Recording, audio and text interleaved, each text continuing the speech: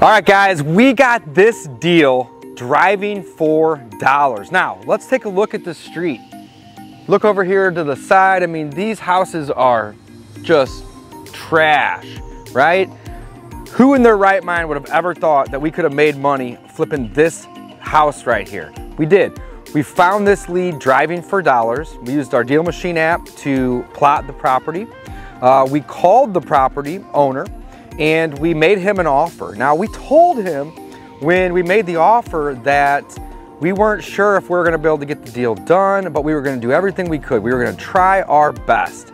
And then what we did is we took the property and we listed it on the MLS, okay? We found a buyer on the MLS and we double closed this deal. We made about $4,000 flipping this house. Now, this wasn't a home run, by any means, but four grand is four grand. Who couldn't use an extra $4,000? We did it on this house, guys. This house. Now, one of the coolest things about this, I never went inside.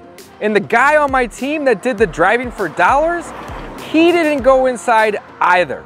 We made the offer directly to the seller, sight unseen. We listed it and we told the buyers to go in at their own risk. We never even went inside and we are gonna clear about $4,000 on this deal. Again, not a home run, but $4,000 is $4,000. You can do this, it is not that hard.